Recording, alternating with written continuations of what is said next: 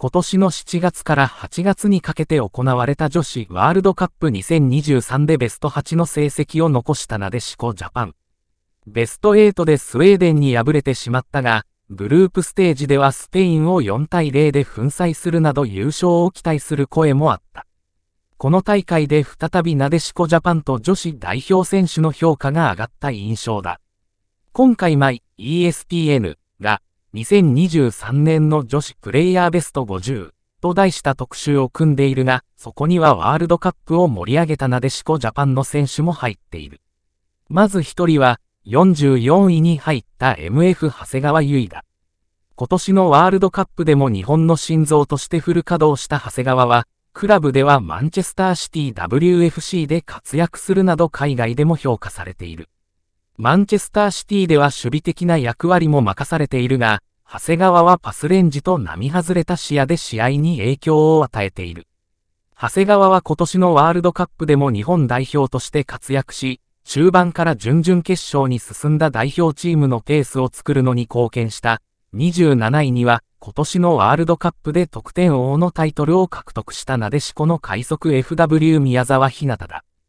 今季からはマンチェスターユナイテッド WFC に活躍の場を移しており、ワールドカップを機に有名な存在となった。同メディアもその衝撃に驚いている。2023年が始まるまで、宮沢が注目されていなかったのも無理はない。彼女は日本の国内クラブであるマイナビ仙台でプレーしていたのだ。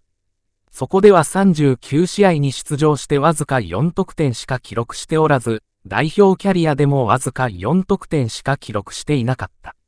しかし、彼女はワールドカップで何かが変わった。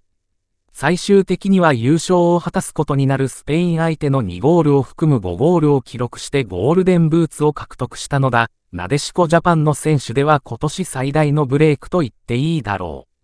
う。やはりワールドカップで結果を出したのが大きく、宮沢への視線は一気に変わった。ちなみに1位に選ばれたのは、ワールドカップを制したスペインよりバルセロナ所属 MF アイタナ・ボンマティ。25だ。女子サッカー界の上昇軍団であるバルセロナフェメニでも主力を務め、ワールドカップでも3ゴール2アシストの成績を残してチームの優勝に貢献している。ワールドカップでのハイレベルなパフォーマンスもあり、国内外でなでしこジャパンへの注目度が上がった1年だったのは間違いない。